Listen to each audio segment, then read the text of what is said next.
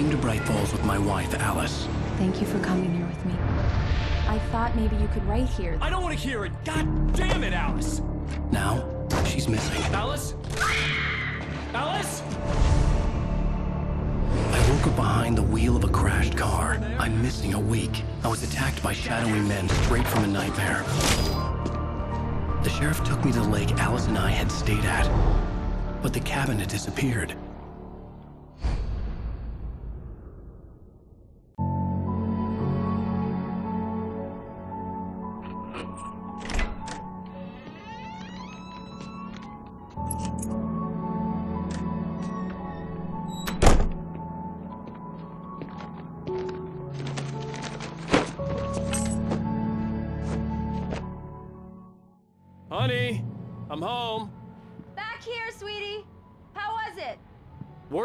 I've ever seen.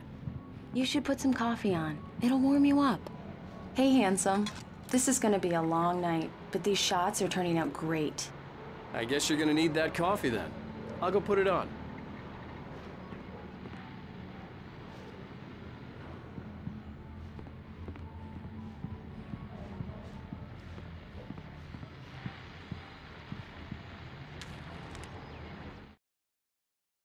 It's true what they say about the fall and the sudden stop at the end. I'd lain here in the snow while the lurid chain of scenes that had led me here kept playing in my head. A rerun of my own private snuff movie. A memory of my corpse. Alone at my own wake. Thinking in metaphors again. The femme fatale was gone. Only a sour taste remained of the kiss that killed me. This was a late goodbye.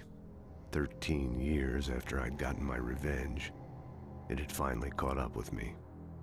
It had been a long time to bear the pain. My blood painted the snow red. A gruesome slushy dissolved all the scattered painkillers and leisurely dripped down to the sewer, mingling with the bile of the city, becoming one with it. I can see them now my wife and my baby. Honey, I'm home.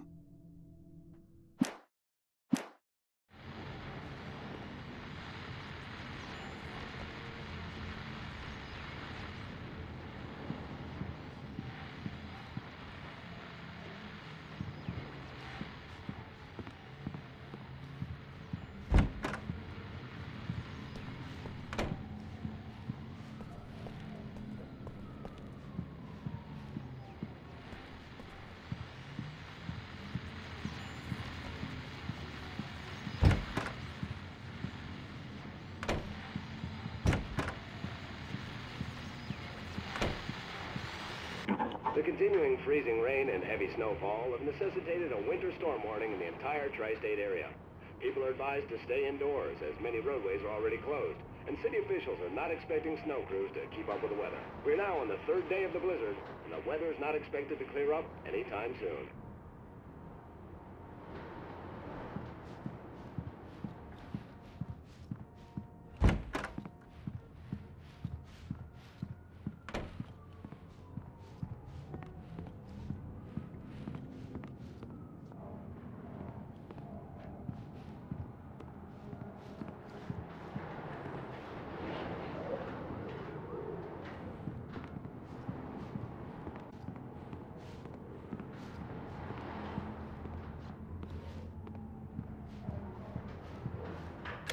Coffee's on. Great, thanks. I'll need it if I'm gonna finish this by tomorrow.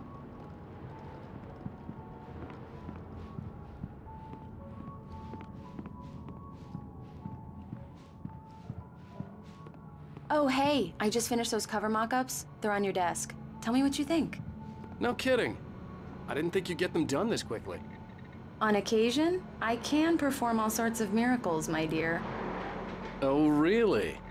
Well, you seemed to think so last night.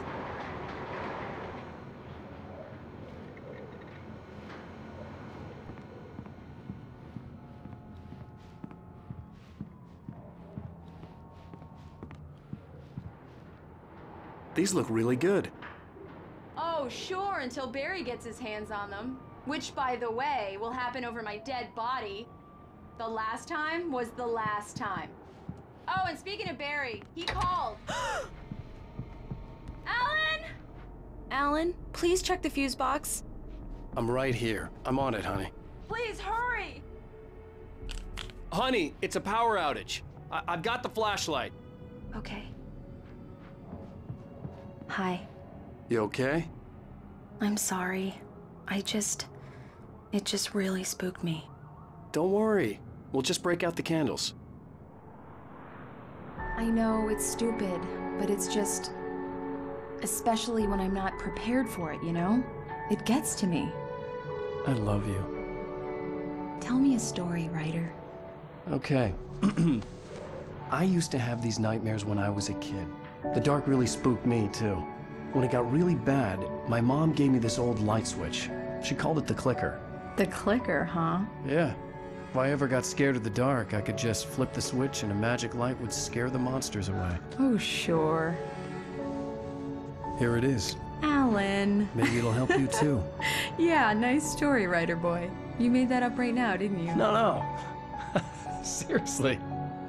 I love you, even if you are a liar. Thanks for this.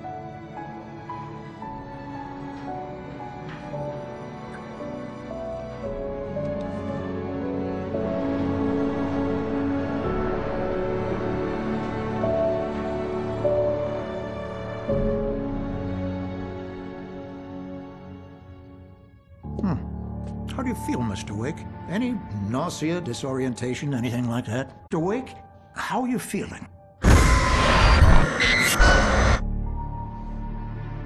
I'm okay. My head's fine. I had to lie about my headache and memory loss. He'd send me to a hospital for tests. I couldn't leave without Alice. Hmm, very well. Um, I don't think you have a concussion, but you've obviously been through quite a shock. You should take it easy for a couple of days. Thanks.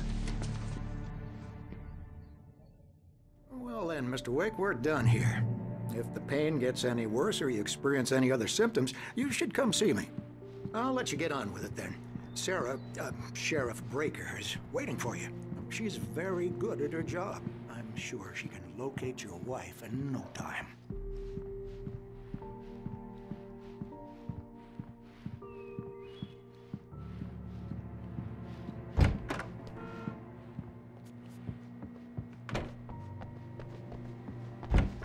Come in, Mr. Wake.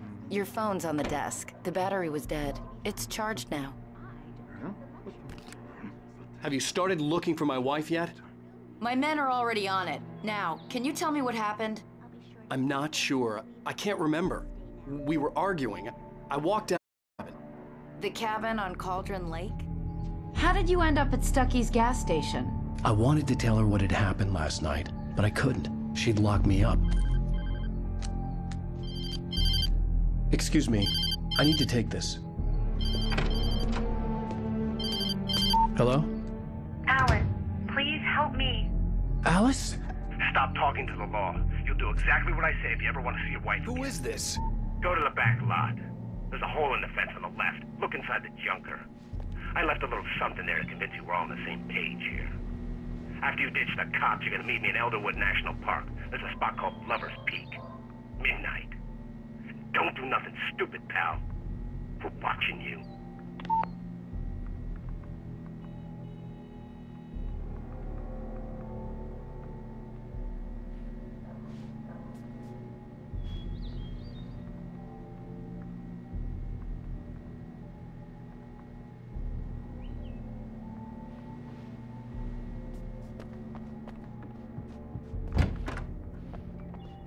Mr. Wake, can I help you with anything?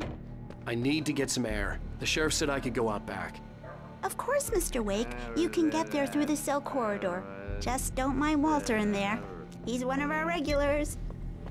I thought he'd quit drinking for good. No such luck. He went on a bender and beat Danny pretty badly. Yeah, he it's started uh, shouting like here. that the moment I'm at were. Stucky's gas station with Thornton. There's no sign of him. Over. Wait, wait, wait, wait. Yeah, this is Thornton. Look, we've located the parade float. It's here. That's some good news, right? Stucky was supposed to be driving it at the rehearsal today. Over. Oh, give me that. Mulligan here. Looks like someone really trashed the garage. Over. Okay, roger that, guys. Keep looking for Stucky. Jane's out. Feeling so good. It's too damn dark in here. I don't want to be in here. Give me some light. Hey, hey, mister. Hey, can you turn the light? The light's on. The deputies, they won't, they don't understand. They won't. Thank you, man, thank you. Hey, you're all good guy. Don't let anybody tell you different. You know, I shouldn't even be in here. The cops, they got it all wrong. See, sure, sure, sure, I beat him up, but I wasn't drunk. I mean, I wasn't drunk at the time. I only got drunk afterward. Okay, listen. Listen, listen, you gotta listen carefully now. Here's the kicker. That wasn't Danny. No, sir. It only looked like him. You wanna know who it really was? I'll tell you who it really was. It was a goddamn space alien!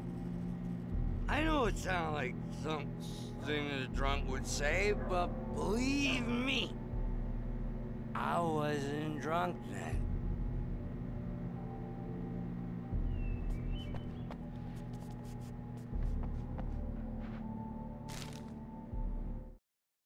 In spite of its human mask, to describe the Dark Presence as intelligent would have implied human qualities on something decidedly inhuman. Nonetheless, it found the one spot in the diner that was dark enough. Some light spilled into the corridor, ravaging it. But it took the pain. Horrible as it was, the writer would soon fix that. He would be coming to the one place where it still had power. I told him, The early morning light hurt my eyes and made my head ache. The man on the phone had said, go through the fence on the left.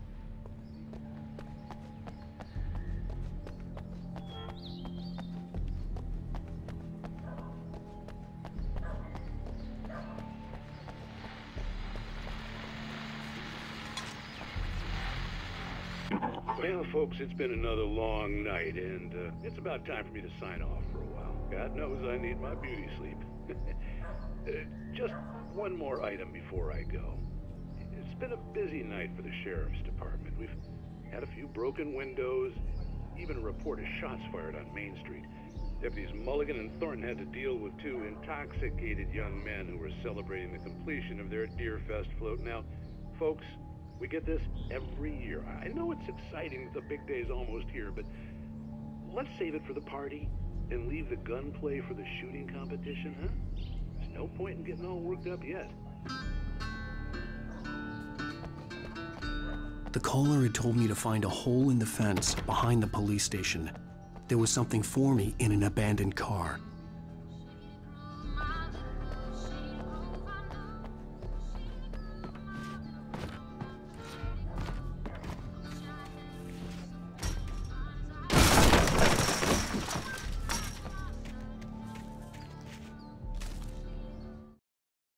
Kidnapper fired his gun one last time, and the shadow vanished into the darkness it had come from. See? Nothing to it, Wake. The thought of Alice in his hands was revolting.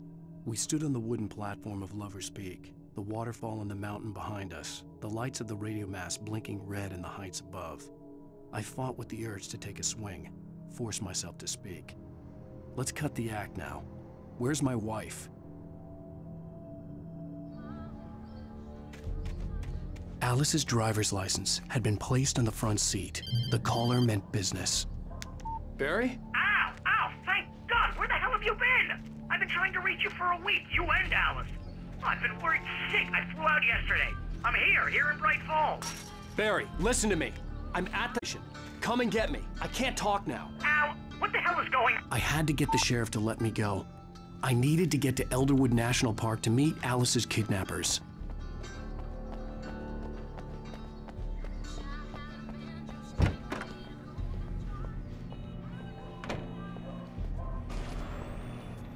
Is a light that reveals the world of his story from darkness, shapes it from nothingness. The way a sculptor carves a statue from a block of granite. If I stop, the world I'm making dies. Darkness will reclaim it. It's a long, hard journey into the dark. Alice's life is at stake, but I can't think about that, or I'll lose it. The dread lingers at the edge of perception. I'll push on. Anything is possible here. I'll write the story. I'll save her.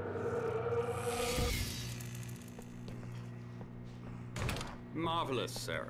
I just wanted to settle all the damage the Anderson brothers might have inadvertently caused on their recent. Are you feeling any better, Mr. Wake? I'd like to leave. Am I free to go? Well, we still need to talk about. Am I under arrest? No, of course not. But I need to know where you'll be staying so I can get in touch with you. I'd avoid the motel. The Majestic is known for its roaches. The cabins at Elderwood are pretty nice, though. That sounds perfect. I'm Dr. Emil Hartman. I'd like to invite you to stay at Cauldron Lake Lodge. Did you talk to my wife? I had the pleasure of discussing your situation with her on several occasions. Did you set something up with her? I invited her here. My clinic is a place where. Oh, hey! Oh, my! Take it easy. Move! Get your hands off of my client! Who are you? I'm Barry Wheeler, his agent. If you have business with Mr. Wake, you talk to me. You yokels won't know what hit you once I sic my lawyers on your asses. No harm done, Sarah. I'm all right. I don't want to press charges. Mr. Wake, my offer still stands. Get me out of here. What the hell was that about, Al? We don't need a replay of that thing with the paparazzi. I thought they were gonna lock you up. I had to talk to someone. I told Barry everything. He thought I was certifiable, but when he heard about the manuscript, I had him. The fact that I'd written something, even if I couldn't remember it, was enough for him. He smelled money. And he believed that Alice had been kidnapped. Anything beyond that was another story. I had a midnight appointment with the kidnapper in a place called Lover's Peak, somewhere in Elderwood National Park. The plan was to rent a cabin. I don't like it, Al. I don't like any of it. It's not good. In fact, it's the absolute opposite of good. Mr. Wake! Barry, you found him! Hi, Rose. Oh, wow. I was just thinking about you, too. Great. I was just bringing Rusty some coffee. He's on the balcony, looking after Max. Poor thing. I really need to go. Great to see you again, Mr. Wake. Later!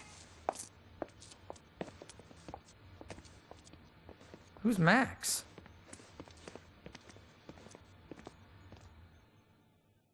What an airhead.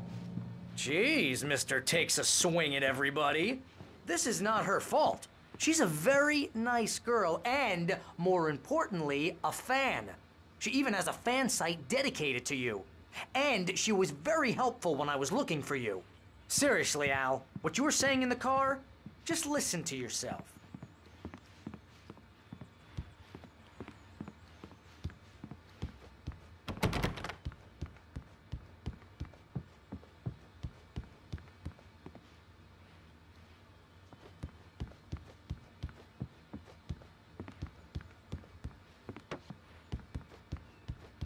What, you shot a guy and his body just disappeared? When was the last time you slept?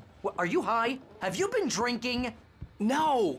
Look, Barry, I'm missing a week, and someone's got Alice. Do you and understand everything's just what it sounds like when you say stuff like that?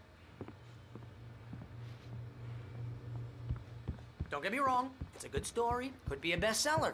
But when you start confusing fiction with reality, you're buying yourself a ticket to the funny farm. Right, wait here.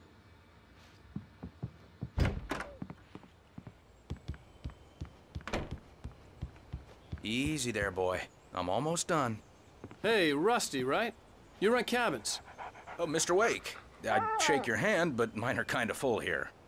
Actually, I'm sorry about this.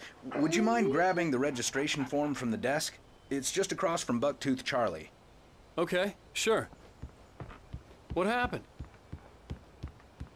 Seriously, Al, you can't just go and meet a kidnapper. Those situations always end up in disaster. You gotta talk to the cops. She's my wife, and it's my call. Can we talk about this later? No, this whole thing. It... Listen, you hit your head. I mean, geez, Al, come on. You gotta understand how crazy all this sounds. If you're trying to pull a joke on me, freak me out, it's working. Ha ha, let's have a laugh on Barry. Well, you had me going there real funny, Al. You can quit it now.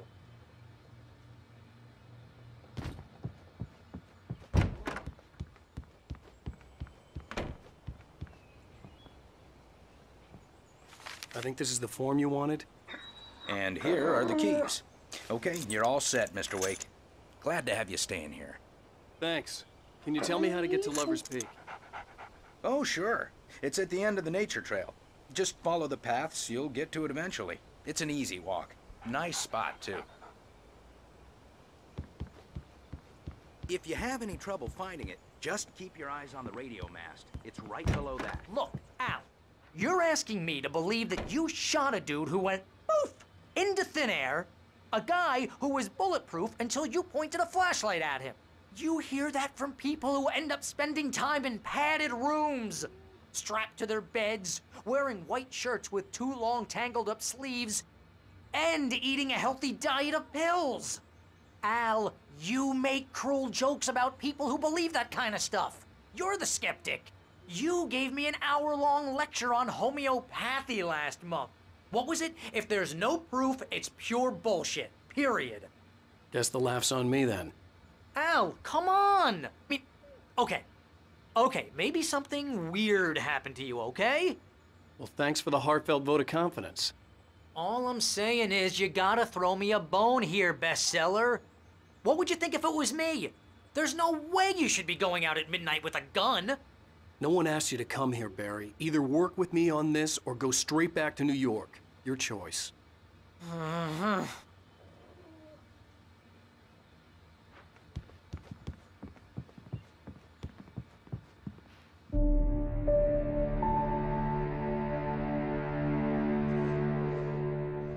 That's just crazy talk, Al. Al! Al? We should go to the sheriff or call the FBI. Damn it, Barry, they'll kill her! This is not a goddamn debate, Barry. I'm going to Lover's Peak. He said to come alone. Okay, okay then. I understand. But you're my best friend, and I'm worried that you're not right in the head. Tell me what to do to help, and I'll do it. You stay here, and if I'm not back by morning, call the cavalry.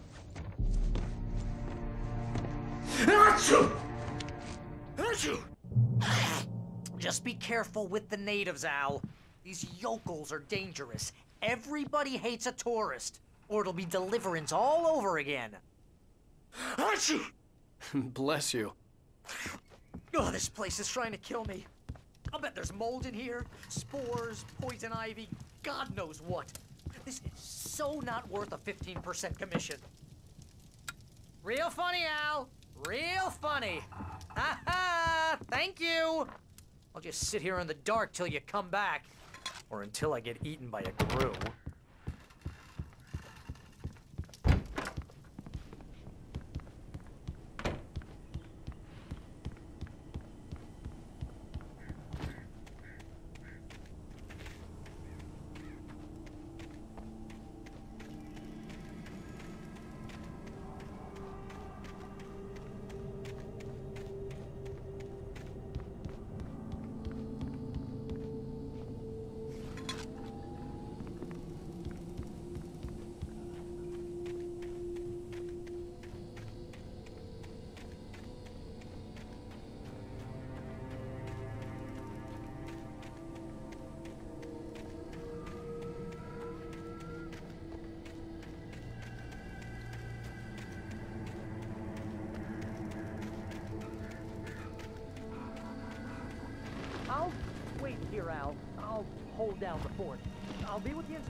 Every step of the way, Al.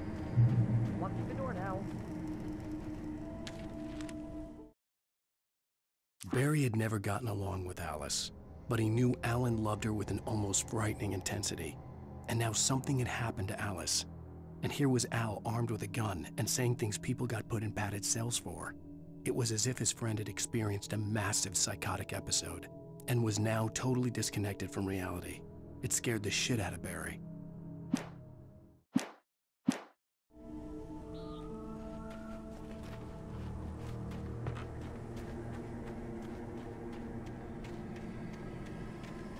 I knew I should have gone to the cops. This wasn't the smartest thing I'd ever done, but I was still angry with Barry for trying to talk me out of it. These people had called me right in the sheriff's station. The cops wouldn't scare them, and they had Alice.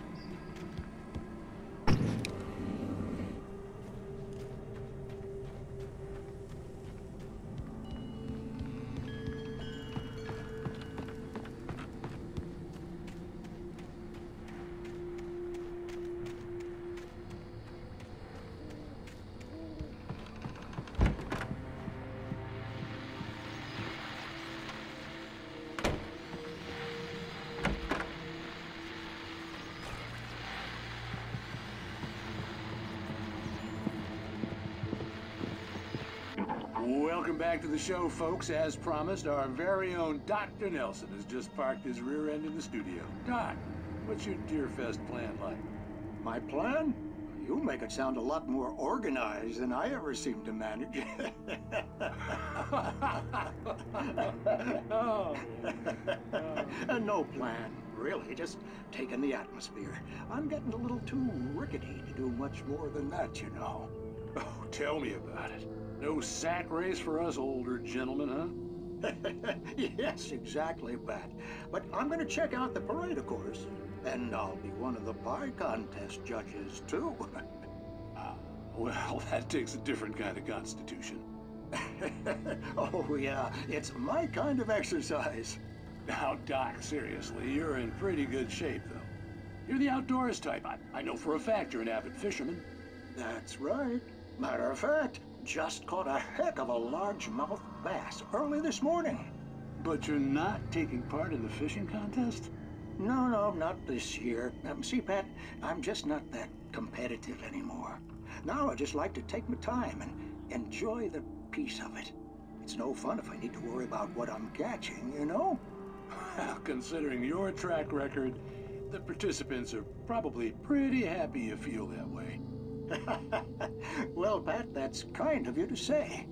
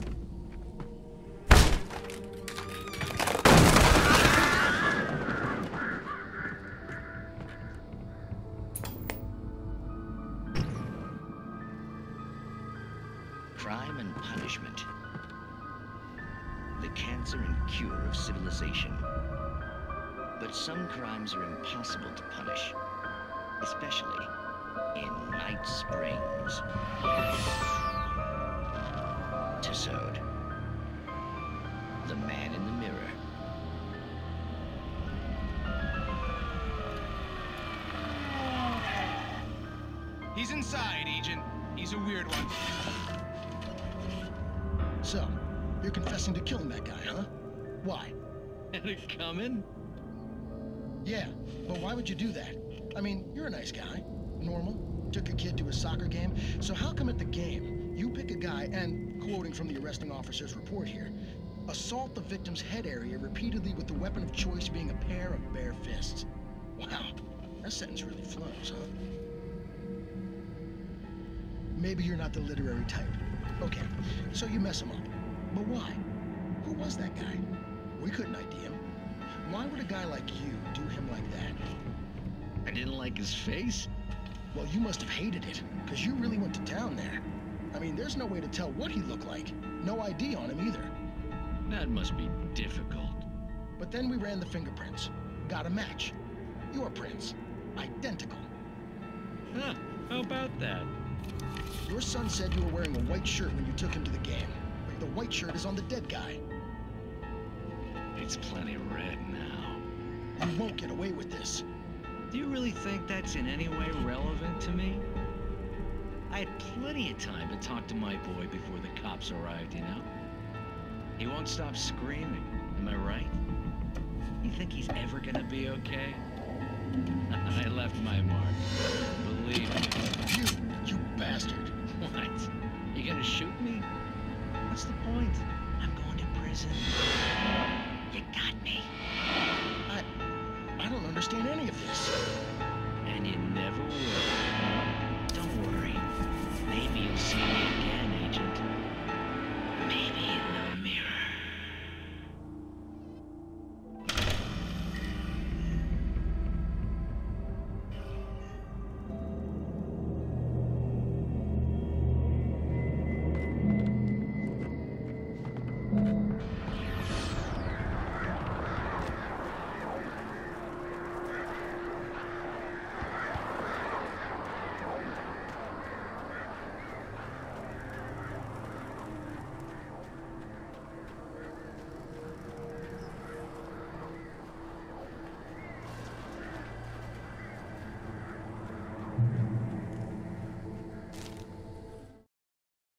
The air in the visitor center was heavy with an awful smell, as if some rotten drowned thing had crawled up from its grave.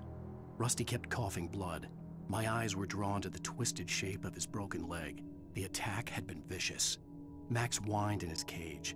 Rusty's eyes were wild with fear and terror. He gasped. Mr. Wake, it happened just the way it was on that page.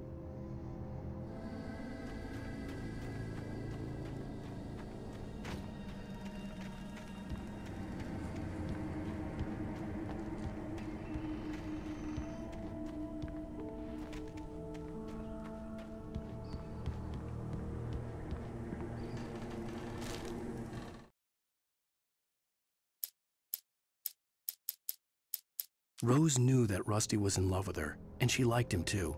She liked him a lot. He taught her to dance, and life had certainly taught her the value of a man who was gentle.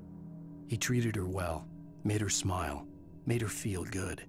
But Rusty wasn't the prince of her dreams, and that tended to underline the unbearable truth. She was no closer to that Hollywood magic than he was.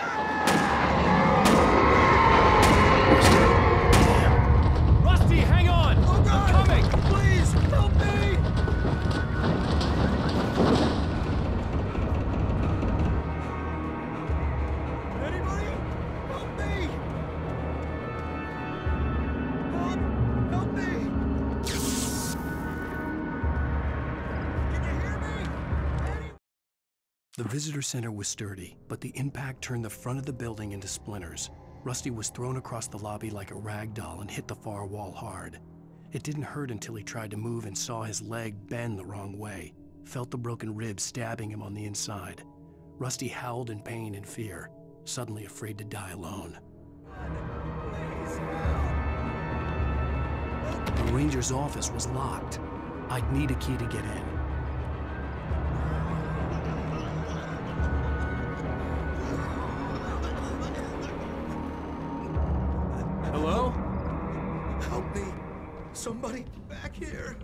I'm back here.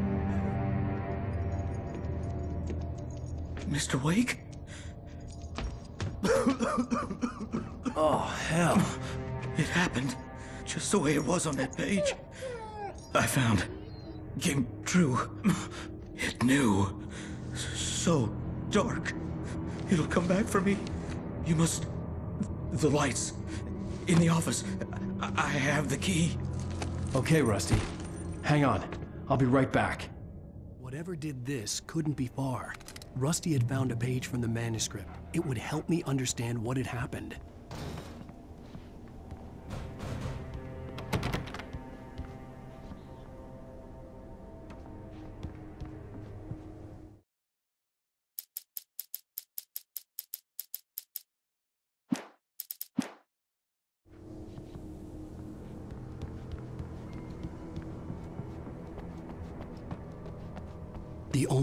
Make sure that Rusty was safe was to get the power running and the lights back on.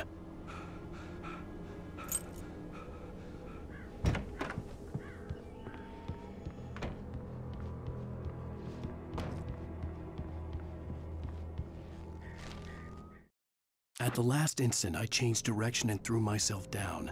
The axe splintered the trunk of a tree. I stumbled into the pool of bright light. My lungs burned. I was too exhausted to move.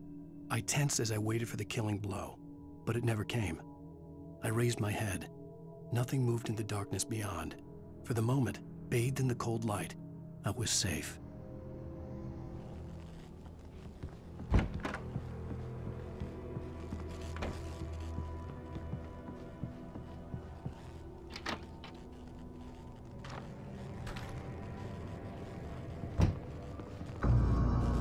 I was too late. Someone had destroyed the circuit breaker. There was no way to get the lights back on.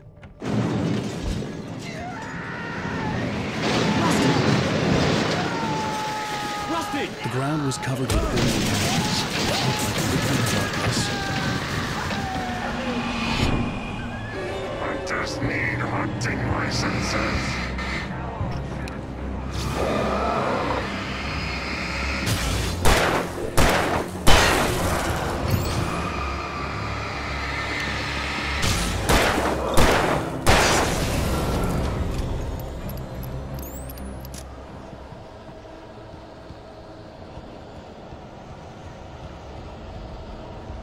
Something had torn a mammoth-sized hole in the wall.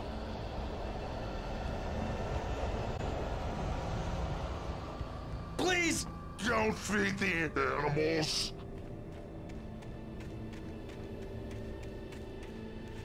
Fishing!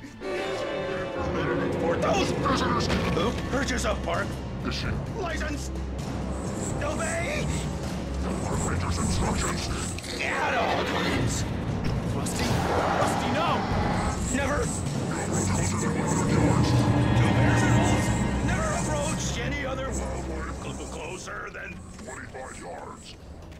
Pets must be leashed. Yeah, at all times. Never leave your pet And unattended.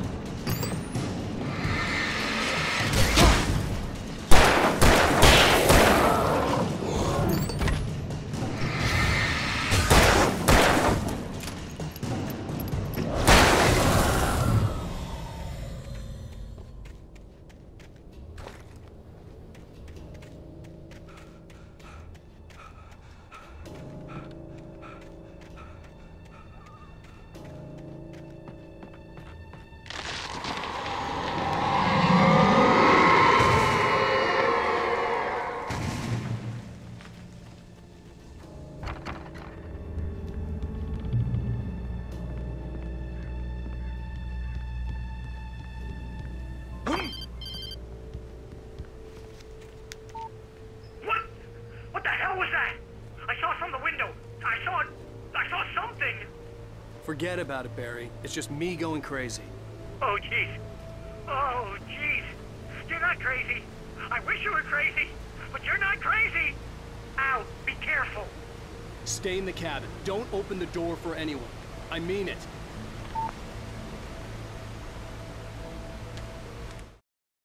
In that last instant of consciousness, Rusty thought about Rose.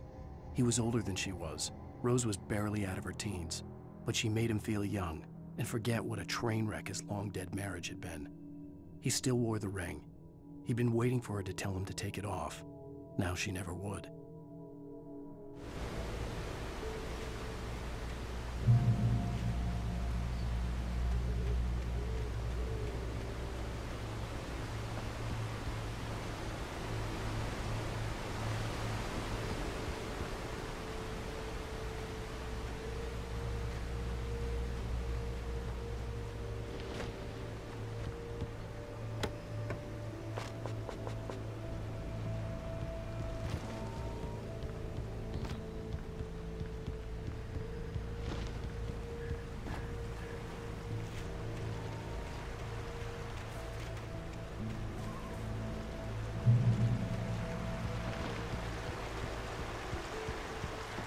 Lover's Peak was at the far end of the nature trail.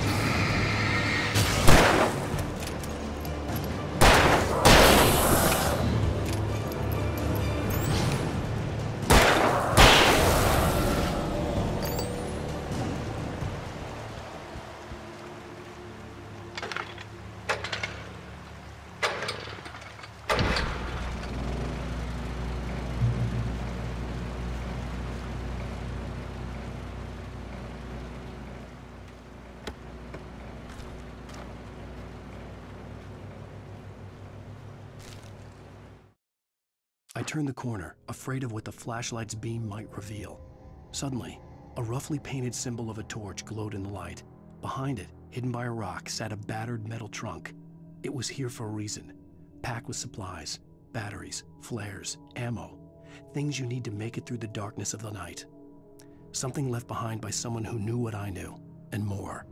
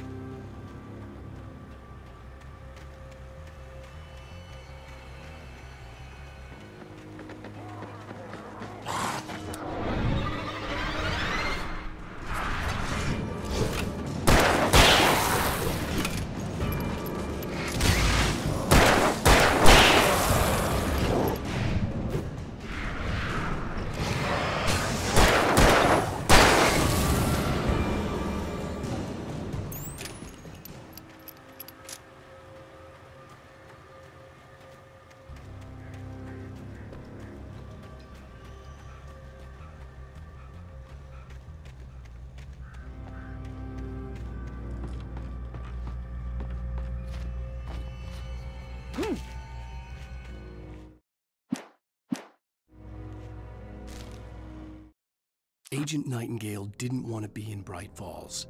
These little communities revolted him, and he didn't like the trees or the coffee.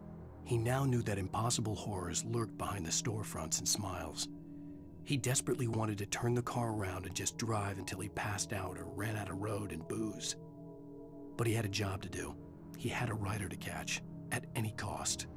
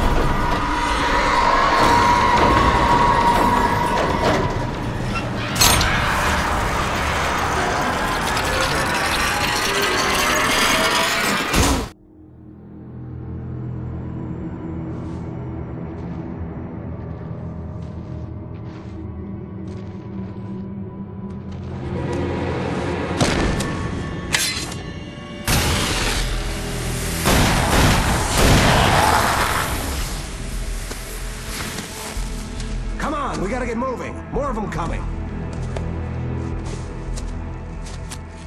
That flashlight's kid stuff. The flares will keep the bastards away.